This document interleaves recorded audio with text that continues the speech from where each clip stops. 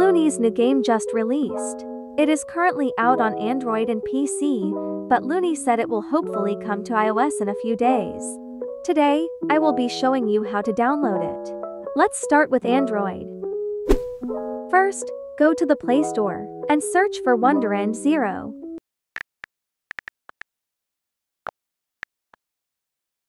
There it is. Click it and download it. Now, I will tell you how to download it on PC.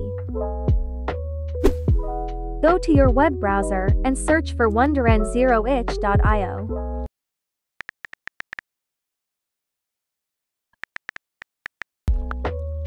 Click this one. If it says it's by Lunime in the corner, then this is the correct one. If it says it's by someone else, it is probably a virus. Now scroll to the bottom and click download. Will you be playing Wonderend Zero? Let me know down below. Anyways, bye everyone.